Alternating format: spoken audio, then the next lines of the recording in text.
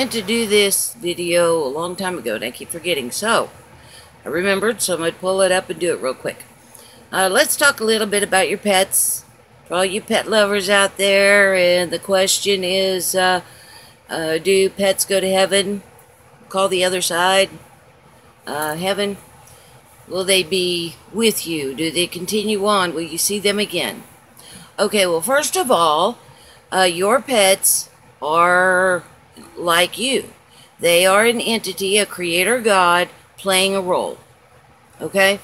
Any pet that is really, really close to you, that you feel strongly uh, about, is definitely one of your pod friends, and what you are more likely to see is you will see the entity that played the role of your pet.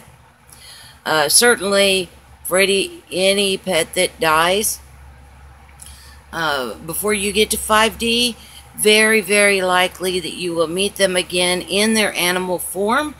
But by then, because you will recognize them easier that way, and then they will probably morph into whatever form they would like to and have a whole conversation with you. Or who knows, they may stay around and romp around as your pet, uh, looking like your pet. But the pets are creator gods, just like you came in and you're in this skin suit of a human your pets came in in the skin suit of your pet. But they are a creator God just like you. And they, uh, they're here to experience this place in whatever form that they're in. Uh, most people who are pet lovers, you can tell those special pets that you don't know, you can explain it, they're just different some way. And those are the ones that are your pod friends and uh, more than likely they will pass before you do because the, all the animals live a shorter lifespan. Most of them do. So when they pass they immediately will uh, join the rest of your pod friends and watch over you and help you whenever you ask. Okay? So yeah your pets are in good shape here guys. No worries about your pets. They're not going to go to a separate place where you'll never see them again. No uh, they are entities just like you, playing a role. So who knows how you'll, you guys have got a relationship and you'll continue that relationship in whatever form you've agreed to play it out as. It won't stop just because they've passed off of this planet. It won't stop. You guys have had a relationship for a long time. You'll continue to do so. Uh, they won't. They will not go out of your life. But just keep in mind that underneath that or inside of that uh, little animal is a creator God just like you. Okay? It's just that those um, animals rely on us a great deal. And the same thing is true with plants.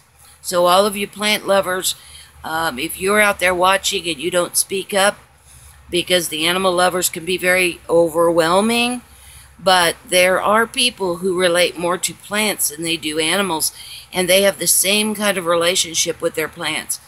Uh, the plants, on the other hand, tend to be entities that might stay much longer than you will.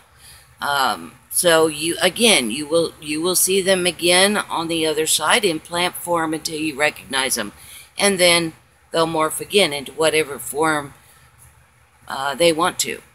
Uh, but you'll you'll recognize them, and there are a lot more plant lovers out there than people know about, because a lot of the plant lovers think that people are going to consider them strange or to say that they have the same feelings for a plant that animal lovers do. A lot of the plant people won't speak up, but they are out there. And uh, plant lovers, you're not crazy. Um, if you can feel them communicating just like an animal lover does, you're right.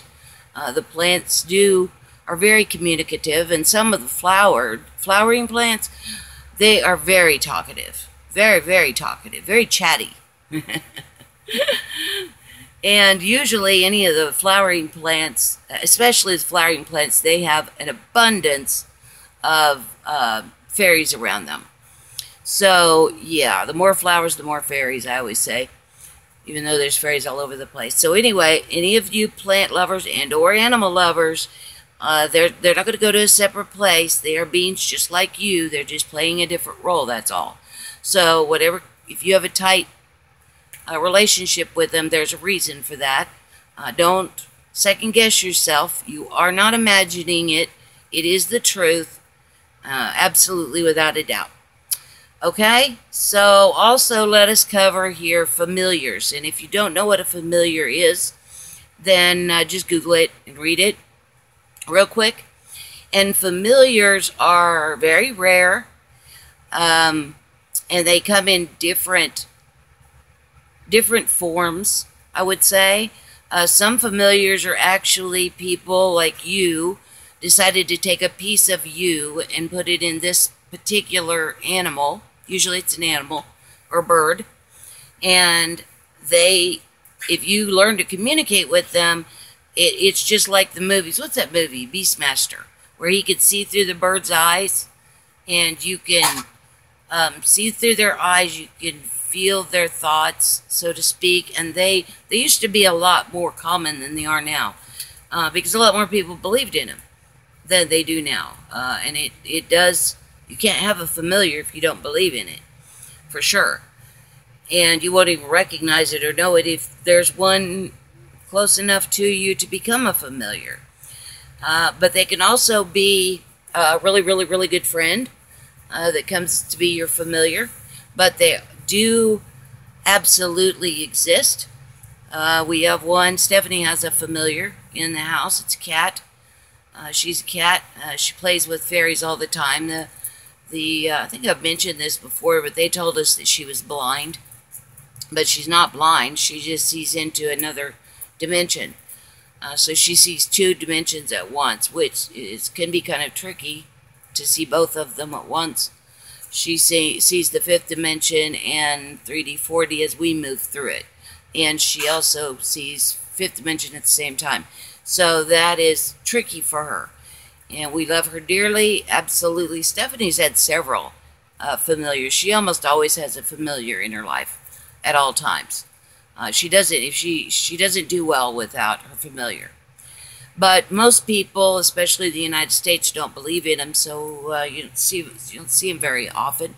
Sometimes there is a familiar with a person, and even if the person doesn't isn't aware of it, uh, and they are more than more of those are dogs, usually big dogs, and um, they are very protective of their humans, very protective. And uh, yeah, anybody that's got that kind of relationship, uh, if you read familiars and that you recognize it, that description, more than likely you have one. You just didn't know it or were taught not to believe it. That uh, familiars are almost always associated with uh, witch witches, and thanks to Christianity, witches and Wicca has been tied to uh, demons, which of course Wiccan people can associate with demons if they want to, but it's much more earth-based than that. It's much more than that. So, yeah. What else can I tell you about your pets? Yeah all of that stuff I said about torture, the animals that are in a tough place, uh, where they're being tortured, they also will do everything I described that people will do.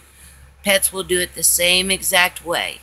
So any kind of torture that you see about around animals, uh, just refer to my torture video uh, that I just put up yesterday or this morning. I'm not sure when it, it when I pushed the button to put it up when it finished, but it was either yesterday or today.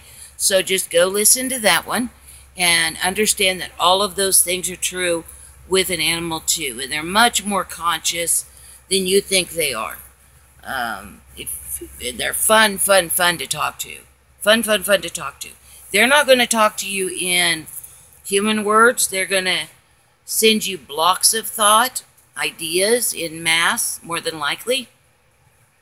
And so once you get, so you believe that, then you can get those thoughts. If you look into their eyes, almost always you can tell they're communicating with you. They're trying to communicate with you. Um, they know what you're saying. They, a lot of them even know what you're thinking. So uh, they get frustrated a lot of times not being able to communicate with humans. Uh, so yeah, maybe we'll spend a video talking to y'all about talking to um, plants and animals better. Maybe I can go more in depth in that. Okay, so hopefully that will help all the plant and animal lovers and give a little bit of explanation. But no worries, guys, no worries. You're going to see him again. You will absolutely see him again. Okay? Huge hugs. Love you guys so much. And I'll talk to you later. Bye now.